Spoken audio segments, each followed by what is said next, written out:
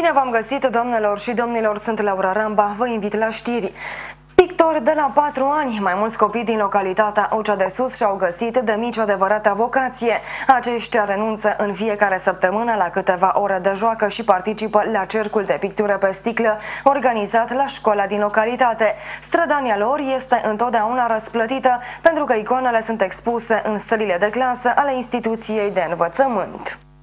Pictura religioasă a devenit pentru localnicii din Ucea de Sus o adevărată tradiție. Aceștia își duc copiii de mici la școala din sat pentru a descoperi tainele acestei îndeleniciri.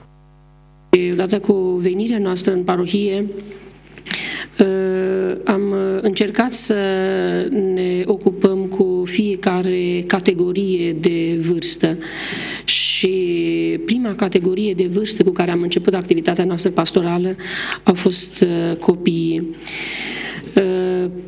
Uh, cercul de pictură Buna Vestire, pe care noi l-am înființat acum 2 ani, uh, a, și-a propus să deschidă copilului gustul spre bine, spre frumos.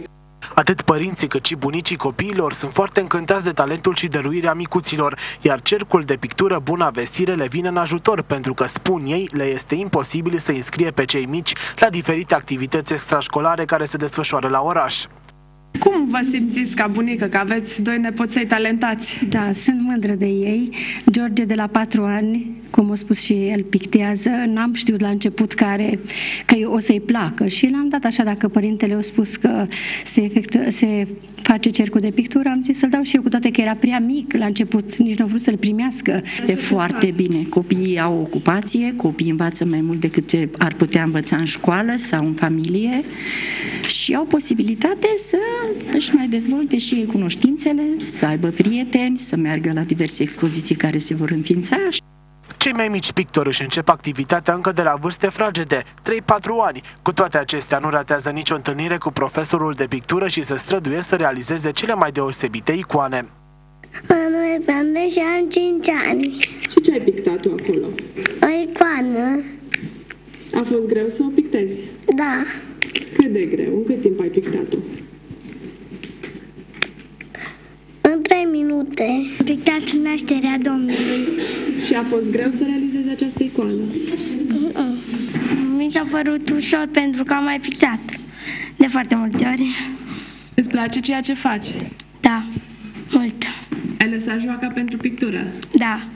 Este interesant ceea ce faceți voi, Uh, cercul de pictură. Da, este foarte interesant și ne bucurăm că și în satul nostru există un asemenea cerc. De la câți ani pictezi tu? De la 4 ani. Și ce ai pictat tu până acum? Sfântul Ștefan cel Mare, Sfântul Gheorghe și o cruce. Aici se lucrează difer- diferite icoane pe sticlă, în special. Este o tehnică mai simplă pentru copii. Lucrările sunt făcute în tempera și abordăm diferite teme biblice. Cum e să lucrați cu cei mici? În special, am înțeles că aveți și de 4 ani. Copii. Da. Este foarte frumos, interesant, e nevoie de multă răbdare. Copiii se descurcă în general. Icoanele copiilor au fost premiate de mai multe ori la diferite expoziții, însă cea mai mare mândrie a elevilor este aceea că picturile pot fi admirate de toți sătenii și la școala din localitate.